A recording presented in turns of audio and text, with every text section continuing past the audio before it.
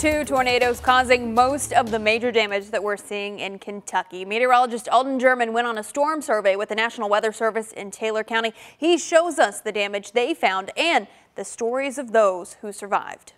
Homes flattened, trees stripped, cars tossed, a life lost. In rural Taylor County, Kentucky, near the small town of Saloma, Residents save what little possessions weren't destroyed from a tornado in the early morning hours of December 11th.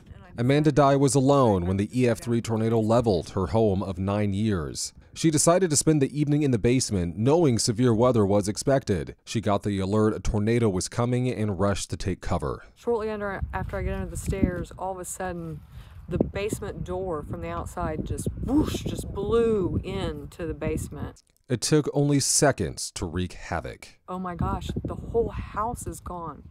Uh, the, I didn't see the car. I didn't see the carport. I mean, everywhere I looked, there was nothing. Down the road, Karen Sanders had seconds to react to her phone's weather alert, crouching in front of a recliner as she covered her head while her mother took shelter in a bedroom. Both survived, but their home, built in 1825 and in the family for eight generations, is beyond repair. It's the same story for dozens of others in this small community. Its greatest loss suffered inside a mobile home whose resident never made it out. Her landlord says he never felt so helpless. Days later, the feeling of defeat is turning into hope. We had a gentleman just walk up to us in the yard yesterday and, you know, asked, Are you the homeowners?